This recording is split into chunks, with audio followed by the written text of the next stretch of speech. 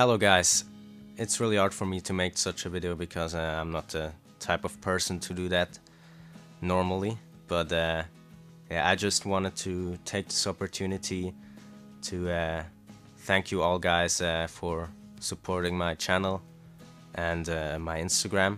It is exactly a year ago on the 1st of January, actually 3 in the morning, where I uploaded my first video to my Instagram and YouTube.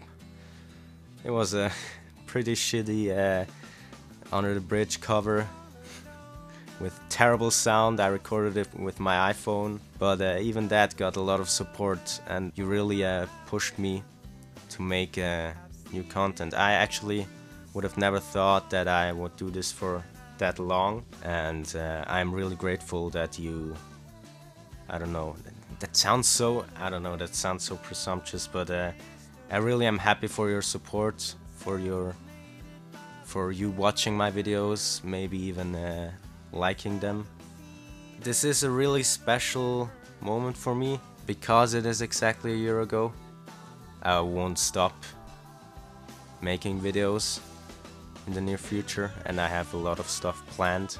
Thank you for supporting my channel and uh, a happy new year to all of you. I know right now the situation isn't that great for all of us but I hope the world will change and we'll have better times maybe next year. One of the most important reasons why I even started this channel was because I couldn't uh, perform any of my live concerts because they were all cancelled.